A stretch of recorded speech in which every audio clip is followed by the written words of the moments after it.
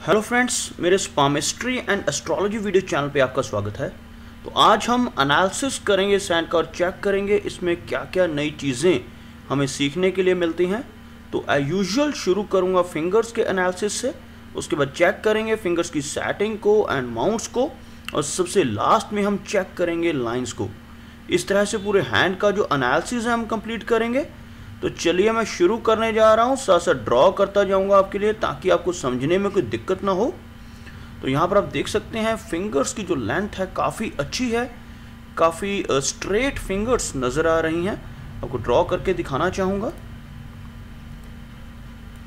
Fingers जो हैं काफ़ी स्ट्रेट हैं और बिल्कुल सीधी होने के साथ साथ यहाँ पर अपोलो फिंगर की जो लेंथ है वह काफ़ी अच्छी है बृहस्पति फिंगर्स यानी जुपिटर फिंगर से ज़्यादा है तो काफ़ी अच्छी आर्टिस्टिक क्वालिटीज़ इनके अंदर रहेंगी, और जो सैटर्न फिंगर है, बिल्कुल स्ट्रेट कोई भी टिल्टेशन नहीं है, जिसकी वजह से काफ़ी हार्ड वर्किंग नेचर रहेगी इनकी, और जो जुपिटर फिंगर है, यह थोड़ी सी शॉर्ट नज़र आ रही है, जिसकी वजह से थोड़ी सी लीडरशिप क्वालिटीज़ में कमी रह सकती है अदरवाइज़ फिंगर्स मुझे काफ़ी स्ट्रॉन्ग नज़र आ रही हैं। सीधी लाइंस आप यहाँ पर देख सकते हैं, कुछ इस तरह की सीधी लाइंस जो इनकी नेचर को फ्रेंडली बनाती है, काफ़ी फ्रेंडली नेचर इनकी रहने वाली है।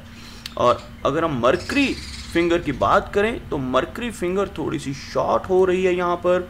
साइज़ में थोड़ी शॉर्ट होने के साथ साथ जो मरकरी माउंट है, वो भी थोड़ा सा लो सेट हो रहा है।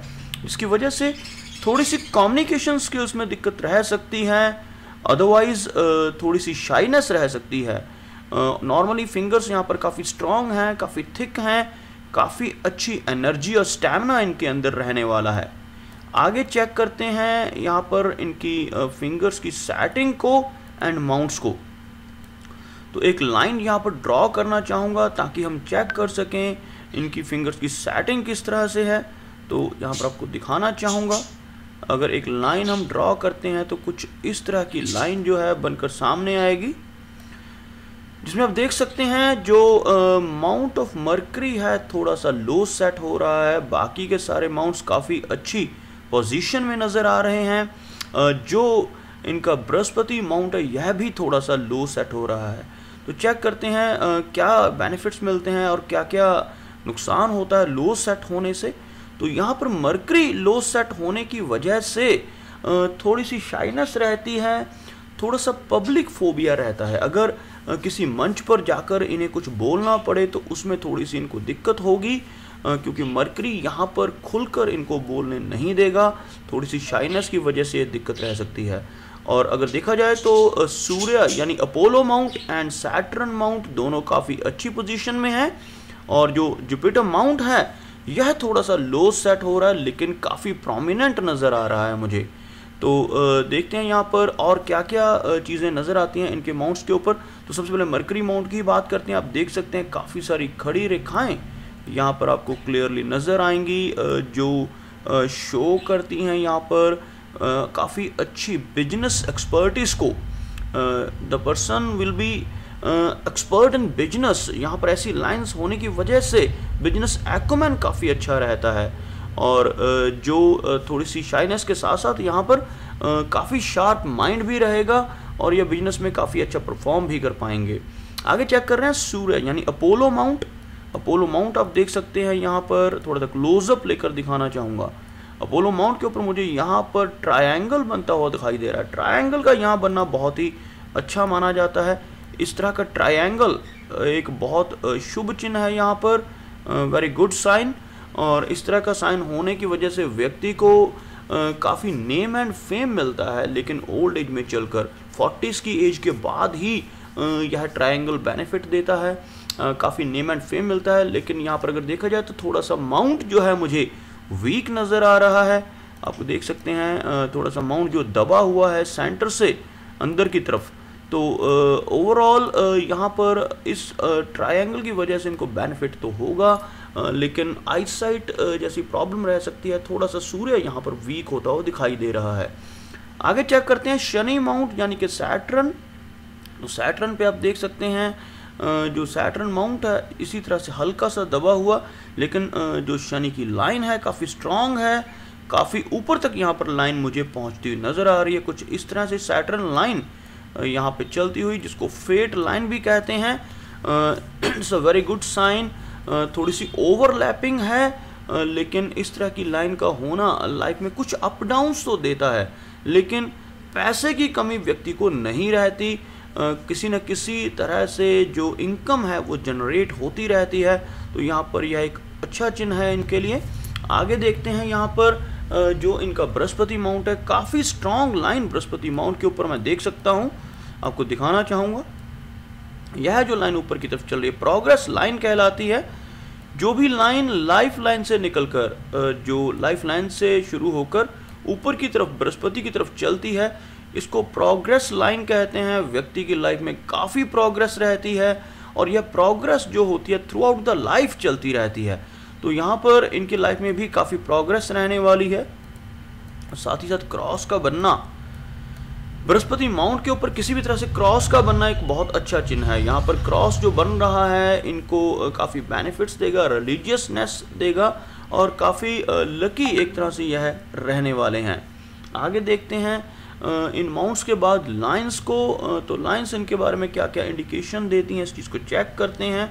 तो यहाँ पर आप देख सकते हैं, इनकी हार्ट की लाइन जो मुझे नज़र आ रही है, बिल्कुल सीधी चलती हुई और यहाँ पर जो इस लाइन की शुरुआत है कमेंसमेंट है, वह मुझे सैटर्न एरिया से होती हुई नज़र आ रही है। यानी कि शनि एरिया से, शनि एरिया से लाइन शुरू होने के कारण व्यक्ति थोड़े से मटीरियलिस्टिक अप्रोच के होते हैं, जिनकी ऐसी लाइन होती है, थोड़ी सी मटीरियलिस्टिक अप्रोच लाइफ में रह सकती है। उसके अलावा यहाँ पर इस लाइन का यहाँ से शुरू होना व्यक्ति को काफ़ी ज़्यादा प्रैक्टिकल पर्सन भी बनाता है। काफ़ी प्रैक्टिकलिटी रहेगी और जो लाइन है काफ़ी सीधी है। कुछ ऐसी नीचे की तरफ़ चलने वाली जो लाइंस हैं, यह थोड़ी सी इमोशनल सेटबैक्स दिलवा सकती हैं। अदरवाइज़ यहाँ पर हार्ट की लाइन का बिल्कुल सीधा होना व्यक्ति ज़्यादा इमोशनल नहीं होता, ज़्यादातर प्रैक्टिकल अप्रोच रहती है लाइफ के प्रति। तो यहाँ पर हमने हार्ट लाइन को चेक किया। मुझे कोई भी मेजर प्रॉब्लम हार्ट लाइन में नज़र नहीं आ रही तो हार्ट की लाइन थोड़ी सी डबल हो रही है। जो कुछ छोटे मोटे ब्लड प्रेशर जैसे इशू इनको लेटर एज में दे सकती है अदरवाइज़ कोई भी मेजर प्रॉब्लम यहाँ हार्ट लाइन में दिखाई नहीं दे रही। आगे देख सकते हैं, इनकी माइंड की लाइन को काफ़ी स्ट्रॉन्ग माइंड की लाइन है इनकी। यह जो लाइन जिसको मैं ड्रॉ कर रहा हूँ, इसको माइंड की लाइन कहते हैं। और इसकी कमेंसमेंट जो है बृहस्पति एरिया से होती हुई नज़र आ रही है। जुपिटर माउंट से कमेंसमेंट है इस लाइन की जो शो करती है। काफ़ी अम्बिशियस नेचर को। तो काफ़ी अम्बिशियस ये रहेंगे और उसी अम्बिशियस नेचर की वजह से लाइफ में प्रोग्रेस भी होगी। और जो एक स्ट्रॉन्ग मार्स लाइन काट रही है इस लाइन को, वह थोड़ा सा नेगेटिव है।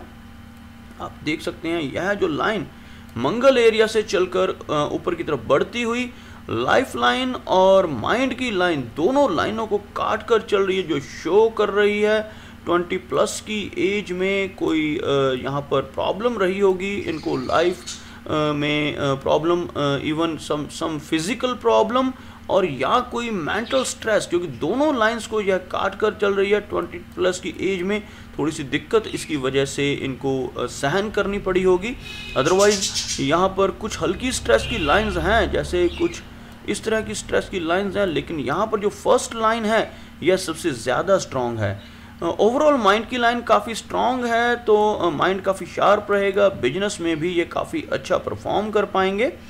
मनी ट्रायंगल यहाँ पर बनता हुआ दिखाई दे रहा है, आप देख सकते हैं मनी ट्रायंगल इसको कहा जाता है। कुछ इस तरह का ट्रायंगल जो माइंड की लाइन फेट लाइन और मरकरी लाइन इन तीनों लाइनों से मिलकर बनता है। इसको हम मनी ट्रायंगल का नाम देते हैं। तो मनी ट्रायंगल होने की वजह से लाइफ में पैसा खूब रहता रहता है। तो पैसे की यहाँ पर किसी तरह की कोई कमी मुझे इनकी लाइफ में नज़र नहीं आ रही। तो काफ़ी अच्छा चिन्ह है ये। आगे बढ़ते हैं और चेक करते हैं इनकी लाइन ऑफ़ फेट को। फेट लाइन इनके बारे में क्या क्या इंडिकेट करती है। तो यहाँ पर आप देख सकते हैं फेट लाइन मून एरिया से कमेंस होती हुई और आगे चलकर 35 के आसपास की एज में जाकर यहाँ पर थोड़ी सी चेंजेस प्रोफेशन में आ, कुछ अलग से एक लाइन चल रही है जो शो करती है थर्टीज़ की एज में।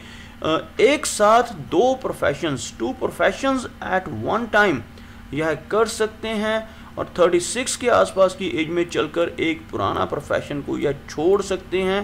तो यहाँ पर जो पहली फेट की लाइन है, ख़त्म होती हुई 36 के आसपास की एज में दोबारा से दूसरी लाइन आगे की तरफ़ बढ़ती हुई और जो 58 की एज तक पहुँच रही है यहाँ पर तो यहाँ पर 58 यानी रिटायरमेंट एज तक यह लाइन काफ़ी अच्छी इनकम इनको देती हुई दिखाई दे रही है। उसके बाद भी आगे लाइन चल रही है तो काफ़ी प्रोग्रेस रहेगी लाइफ में। थ्रू आउट द लाइफ यह पैसा कमाते रहेंगे। बाहरी स्पोर्ट काफ़ी अच्छी रहने वाली है, क्योंकि लाइन जो है, यहाँ पर शुरू होती हुई नज़र आ रही है मून एरिया से। काफ़ी ट्रैवलिंग है मून एरिया के ऊपर। काफ़ी सारी लाइंस जो इनको काफ़ी ट्रैवल करवाएँगी। और उसके साथ साथ चेक करते हैं इनकी लाइफ लाइन को। तो आप देख सकते हैं लाइफ लाइन काफ़ी अच्छी नज़र आ रही है। यहाँ तक पहुँचती हुई लाइफ की लाइन और कुछ कुछ इस तरह की।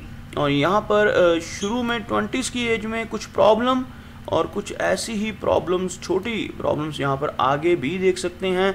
यह प्रॉब्लम्स जो रहेंगी लगभग यह थर्टी के आसपास की एज में नेक्स्ट प्रॉब्लम दिखाई दे रही है। मुझे स्ट्रेस लाइन और उसके बाद थर्टी सिक्स के आसपास की एज में एक और स्ट्रेस लाइन यह कुछ स्ट्रेस इनको मिल सकता है। ओवरऑल जो एज रहने वाली है, वह मुझे यहाँ पर 80 प्लस की दिखाई दे रही है। काफ़ी लंबी एज को यह एंजॉय कर पाएँगे।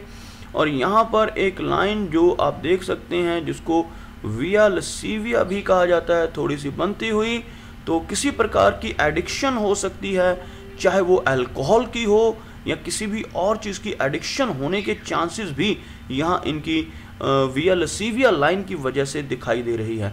तो यह कुछ एनालिसिस थे इनके हैंड के बारे में, और मेरी कोशिश रहती है कि सारे सवालों के जवाब एक ही वीडियो के थ्रू दे पाऊँ, लेकिन फिर भी कोई ना कोई चिन्ह रह जाता है तो इनसे रिक्वेस्ट है कि मुझे व्हाट्सएप पे मैसेज करें, अगर इनका कोई सवाल रह गया हो, ताकि दोबारा से इनके हाथ को चेक करके इनके सवालों के जवाब टाइमली मैनर में दे सकूँ। तो उम्मीद करता हूँ कि आपको मेरा यह वीडियो अच्छा लगा होगा। अगर यह वीडियो अच्छा लगा तो इसे लाइक करें शेयर करें और साथ ही साथ मेरा चैनल भी सब्सक्राइब करें। मेरा वीडियो वॉच करने के लिए आपका बहुत बहुत धन्यवाद।